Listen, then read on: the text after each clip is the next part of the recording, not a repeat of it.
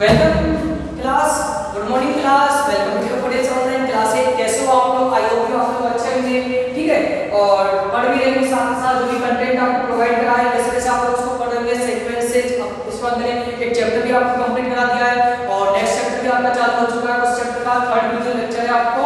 तो समझिएगा clinical thermometer next है आपको। मैंने आपको एक थर्मामीटर की डेफिनेशन डिस्क्रिप्शन काफ़ी सारी चीज़ें पिछले वीडियो में एक्सप्लेन कर दी थी आज का उससे आगे बढ़ता हूँ। क्लिनिकल थर्मामीटर क्या होता है। क्लिनिकल क्या होता है बताओ? आपको आप समझ जाओगे।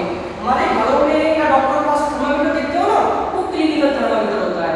ओके पढ़िए Recall when somebody in your family and fever in doctor meter temperature by placing thermometer under your tongue आपने देखा होगा, हमारे घर में कोई बीमार पड़ जाता है तो हम क्या हैं डॉक्टर के पास जाते हैं डॉक्टर एक कांच की लंबी सी नल देता है मुँह में धरो इसको जीभ के नीचे ठीक है this type of thermometer is called clinical thermometer thermometer doctor थर्मोडाइजेशन doctor thermometer भी कहते हैं The thermometer which measure underline करना है इसको a thermometer which measures our body temperature और clinical thermometer एक ऐसा थर्मामीटर ऐसा तापमापी जो हमारे शरीर का तापमान मापता है clinical thermometer clinical तापमापी कहलाता है आओ हम जानते हैं कैसा होता है पेज नंबर 61 निकालिएगा of clinical thermometer it is actually designed thermometer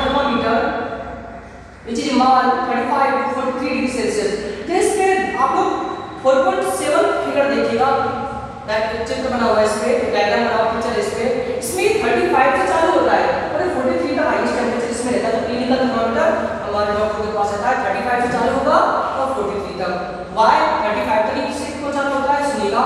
It is because temperature human body does not below 35 और नॉट डज राइट 43 जो मानव शरीर का तापमान 35 से कम नहीं रहता स्वस्थ इंसान का तापमान 35 से ऊपर रहता है ठीक है इसलिए 35 और 43 से ज़्यादा बन जाता है the temperature fails rise above the below limit इससे कम इससे ज़्यादा टेम्परेचर होता है, व्यक्ति की मौत हो जाती है। समझे? आपको चित्र दिख रहा है?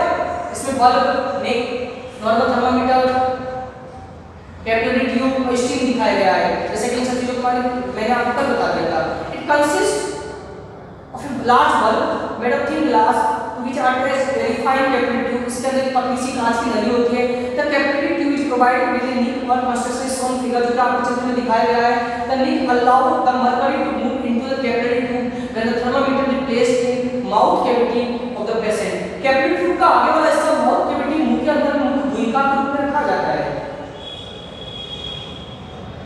but does not allow to flow back into the bulb when the thermometer is taken out of the mouth the patient mouth of the patient that it help read the temperature of the patient when the thermometer is taken out of his mouth पहले उसको कुछ देर के लिए उसके मुँह में रखा जाता है जो पेशेंट होता है उसको बाहर निकाल कर तो कोच के साथ से फिर उसको पढ़ा जाता है कि इसका टेम्परेचर कितना है तो can be doubt that in bulb by judging the thermometer the capillary tube is surrounded by the thick triangular glass tube commonly called the steams a triangular steam help in magnifying uh, the thin mercury created in form of broad band and hence help in the reading the temperature accurately the steam is marked 35 to 43 a red line is with 37 degrees. 35 से 43 इसका limit होता है? ये 37 पे है red line इससे अधिक ऊपर जाता है तो आपकी तबीयत खराब ज़्यादा है। The red line indicator normal temperature 33% तो रेड लाइन से ऊपर जाता है मतलब आप नीचे हो, ठीक हो आप नॉर्मल पर्सन हो हेल्थी हो, इससे ऊपर जाता है तो आप बीमार की कंडीशन में हो सकते हो। अब मैं आपको इसको पढ़ना सिखाता हूँ how to candle how to handle the clinical thermometer thermometer को कैसे पढ़ते हैं? तो बेटा हालाँकि मैं इसको पढ़ाने का आपको कोशिश करूँगा, लेकिन आपको क्या है? थर्मामीटर इसको गर्मी लेके देखना है। तभी आपके समझ में आएगा। या तो मैं रीड करके आपको बता सकता हूँ मैं। है ना? गर्मी में आपके थर्मामीटर हो, उसको समझिएगा क्लियर आपके समझ में आ जाएगा। ठीक है?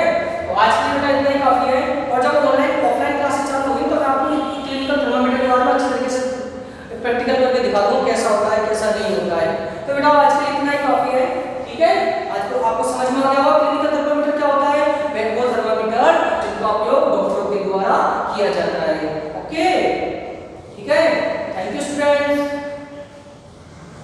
thank you for watching this video और